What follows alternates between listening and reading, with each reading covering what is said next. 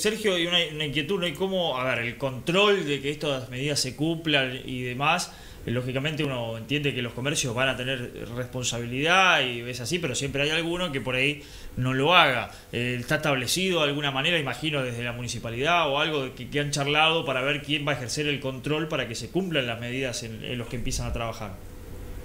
Sí, es así. A ver, seguramente que la municipalidad va, a tener, va a hacer su control, el Ministerio de Trabajo va a hacer otro control. Bien.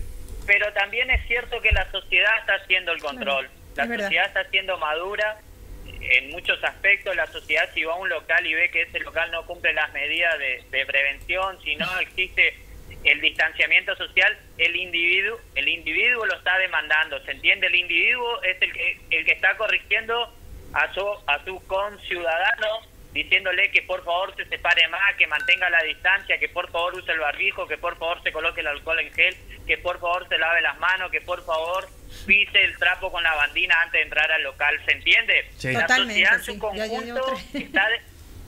¿Cómo? Sí, sí, sí, te escuchamos, Sergio.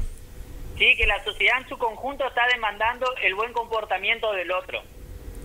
Sin lugar a dudas, y de eso va a depender mucho que esto, que esto funcione, ¿no? que sobre todo que entre todos podamos colaborar con los comercios que lógicamente deben cumplir lo suyo. Siempre habla, habrá algunos, Sergio, seguramente que cuando quiere ingresar a algún local no cumpla y bueno, habrá que hacer entender al, cliente también, ¿no?